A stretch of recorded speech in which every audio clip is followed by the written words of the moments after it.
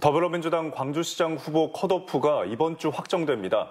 본 경선은 권리당원과 여론조사를 각각 50%씩 반영하는 방식으로 진행해 남북 정상회담이 열리는 오는 27일 이전에는 최종 후보가 결정될 전망입니다. 신익환 기자의 보도입니다.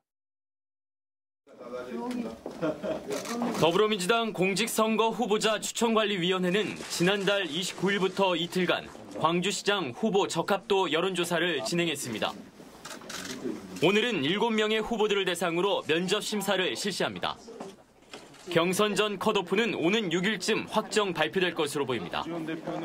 민주당 지도부가 컷오프에 결선 투표에 의미를 담겠다고 밝힌 만큼 생존자 수는 2명이 유력합니다. 본 경선은 권리당원 조사와 안심번호 여론조사 결과를 각각 50%씩 반영하는 방식으로 진행합니다.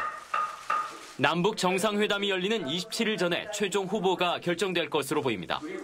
어, 선거 관리를 공정하게 해서 그래서 당내 잡음이나 불만이 없이 어, 우리 후보들이 훌륭한 후보들이 공천될 수 있도록 그렇게 우리 위원들이 모두 함께 노력을 해줘야 되겠습니다.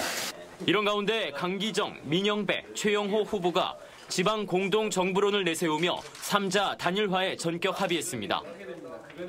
새 후보는 내일까지 단일 후보를 결정한다는 방침입니다. 컷오프를 통과하기 위한 민주당 광주시장 경선 후보들의 수싸움이 갈수록 치열해지고 있습니다. KBC 신익환입니다.